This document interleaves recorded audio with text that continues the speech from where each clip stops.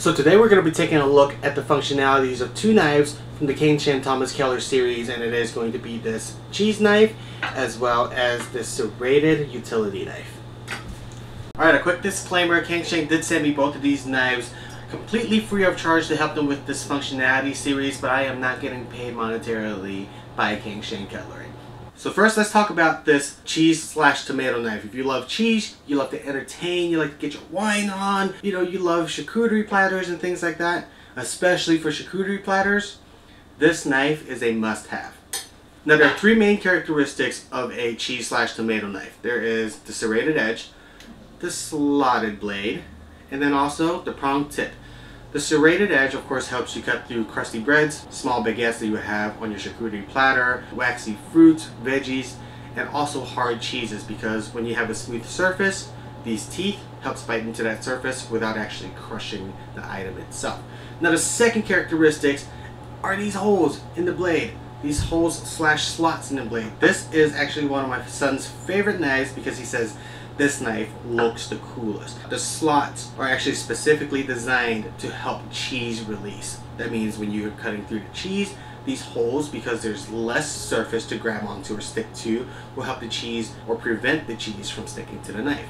Lastly, we have the prong tip. The prong tip is used kind of as a serving tool. So when you're serving your charcuterie platter with this knife, the prong tip actually can help you move all your charcuterie items, your cheese and fruits and things like that around the platter without you having to touch it. So it kind of doubles as a prong slash fork.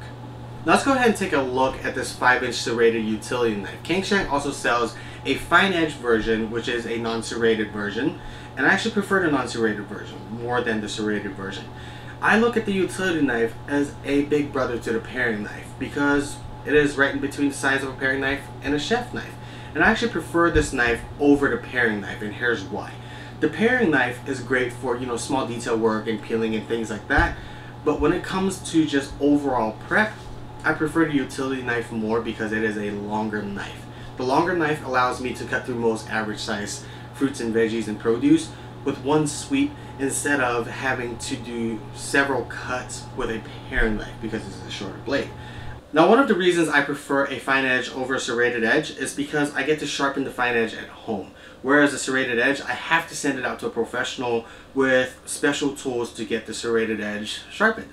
But I'm not saying that there's not a special place for serrated edges because there are a lot of times a serrated edge will save you a lot of headache, such as cutting through bagels, cutting through waxy fruits, cutting through crusty breads or small rolls. That's when a serrated edge really comes in handy or when you have a very delicate piece of meat with a nice crust on it. For example, if you have a perfectly cooked piece of duck breast with a very crispy skin on it, you can saw through the skin without smashing the meat underneath it and pushing and releasing a lot of the juices out of that perfectly cooked piece of duck.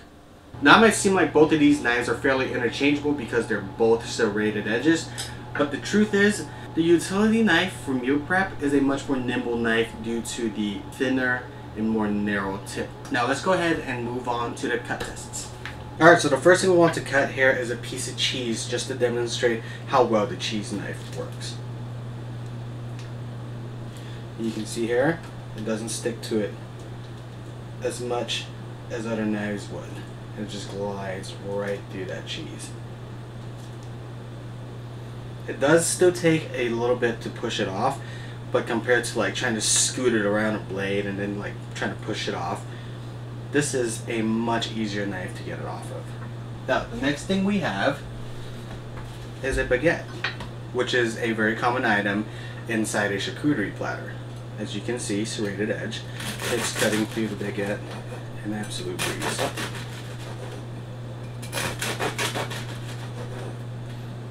Now let's go ahead and move on to the utility knife. Now as you can see, this is the waxy fruit like we talked about before, and it cuts through it with no issue whatsoever. It's so easy to cut through this because it bites right into it and it doesn't slip around. Like sometimes if your knife is just slightly dull, it'll slip around on a waxy surface or smooth surface like this. Whereas when you have a serrated edge, it just bites right into it and it slices right through. Now, the same thing can be said for this tomato knife as well. You see? Because it has these slots, it just falls right off compared to when you're using the utility knife. Look at that. It just comes right off of it. Now let's go ahead and try the utility knife on a baguette. Same thing here. Cuts through with no issue whatsoever. Now I do have to say that cutting through the baguette, I actually prefer the cheese knife more because it has a little bit more heft to the blade. On this guy is actually a little thicker, so it actually cuts through the baguette a lot easier. So this concludes the functionality video for the cheese knife as well as the utility knife and I hope you guys like the content. If you guys do, please hit that like button, hit that subscribe button. It'll mean the world to me and I will see you guys next week. Bye.